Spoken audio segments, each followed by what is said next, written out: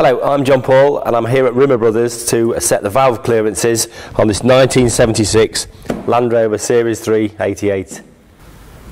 Setting the valve clearances on these old cars is, is, a, is a great thing to do. It's, um, it's not like the modern cars, I mean, these weren't quite as efficient and, and they, setting the valve clearances, they're just keeping everything a little bit tip top. It just improves, improves the volumetric efficiency. It makes them just a little bit nicer, makes them start better, not smoke as much and just run better. So it, it really is a, a great thing to do, the valve clearances. And uh, the first thing we're going to do is take off this induction pipe here so we can see the rocker cover so that's what we're going to do first, just a Jubilee clip at each end and the clip in the centre. I've taken off the induction part that goes from the air filter house into the inlet manifold. Now we're going to take off the, the three half inch spanner size. I know this is back in the old world now, but these are in an old world car, so they are half inch, which is very similar to 13 mil. So you need to take three nuts off the top. The breather pipe to, from the uh, breather on top of the rocker box, just pull that off put it to one side, and then we can lift out the uh, the rocker cover. Now, on the early ones, uh, the original early ones of these Land Rovers, the, the heater pipe, the bracket at the back was actually fixed to the pipe.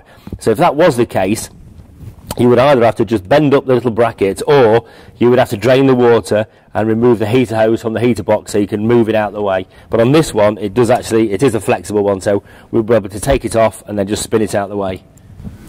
So that's the three nuts off the top. We've moved out the way the, the heater hose bracket, and then it's just a case of lifting out the rocker cover. Now what we'll do here, we'll get the new gasket, we'll clean all this up now, and, we'll, and then we'll put some Hylamar on it, or if it's a type of gasket that's got the sticky thing on already, you can stick it on, but I would do this now, and then put it on a flat surface, so when you come to put it back together, the new gasket is already stuck to the rocker cover, so just, it doesn't fall off. It's just nice and easy to be stuck on for a few minutes before you replace it. Here you can see the rockers that push down the valves to open them via the push rods, which is connected to the camshaft or run on the camshaft. Now, the way I use, uh, way I set these valve clearances is to get, if you get number one inlet and exhaust rocking, you set number four. And if you get set number three rocking, you'll set number two. Then you get number four rocking, you'll set number one, get number two rocking, and you'll set number three.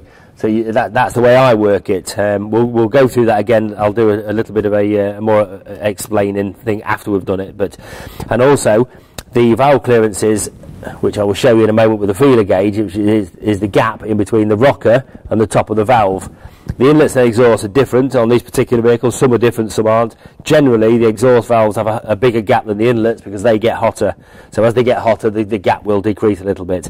And to say which, to, so you can tell which one is the exhaust and the inlet, on these, if you look at the exhaust valve and the inlet, sorry, exhaust manifold and the inlet manifold, you can see the ports. So the end one is an exhaust, then the next one you can see is an inlet, then the next one is an inlet, then the next one's an exhaust, exhaust, inlet, inlet, exhaust. But if you look at where they're opposed to, that's the, that's the way you tell. You do have to turn the engine over obviously to, to, to, get all the valves rocking where you need them rocking at the time. This one's brilliant because it's got a starting handle that goes through the front bumper straight onto the end of the crank so I can use that. If you've got one of them that is definitely the easiest way to do it. But if you haven't got one of those you can either put a spanner on the end of the alternator and then just pull the belt, do it in the clockwise direction so it's in the general direction of rotation uh, or you can get a spanner on the on the bottom crank pulley, whichever you do. But you do have to turn the engine over. I've turned the engine over now, and I've got number one inlet and exhaust both rocking. So I'm going to set number four. Now I get my feeler gauges. It's 25 thou for the exhaust gap. So if I can just I'll try and do it this way so I can show you what I'm doing. So you just put your feeler gauge in in between top of the valve and the rocker that was is a little bit tight. They do generally get tight because the valves wear into the head just slightly. So you just slacken it off with your spanner, undo the centre screw just a fraction because it won't take very much. And bear in mind this is 25 thousandths of an inch, so it is a fairly small gap. And then if you can just push and pull the feeler gauge, and just so it wants to be tight, but you do want to be able to move it. That's about fine. So what we'll do then is you'll get your spanner on the lock nut, then you'll hold the centre screw thread and you tighten it up. It's just nice and tight. then just recheck it. So just push and pull, and that's great. So now I'll check the inlet one, because this is the 10th thou, well that is quite loose. So same again, we will slacken off the lock nut, your screwdriver on the centre thread, tighten it up, just slightly, not too much.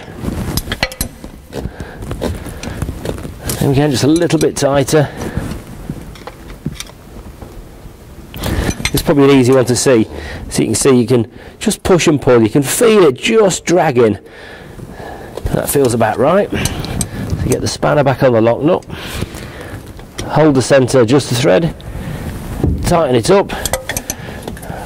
Recheck. And they're done. So now we'll get back on the starting handle. I'll turn the crankshaft over again and then we'll get number three rocking and we'll set number two.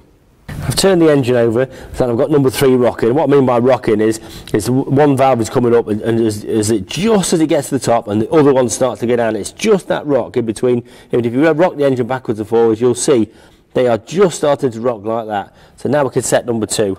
So inlet first, 10 thou.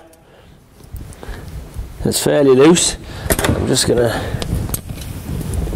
slacken off the lock nut my screwdriver in the adjust there. This one's fairly tight. There we go. So just screw that down a little bit. So it's just just grabbing. It's quite nice. Tighten it up. Yeah, that's great. Then with the 25 thou, I'll do the same with the exhaust. And then it's just a case of turning the engine over again. So now number four will rock, and you'll set number one. And then number two will rock, we set number three. And once they're all set, we can then put the rocker cover back on. After I cleaned off the old gasket, I cleaned up the surface where the new gasket is going to sit. Just put a bit of Hylamar on it, or gasket gear, whatever you've got really. Then I've just put the gasket in place, and I've just laid it on a flat surface so it's nice and stuck on there. So when I refit it, the gasket doesn't fall off.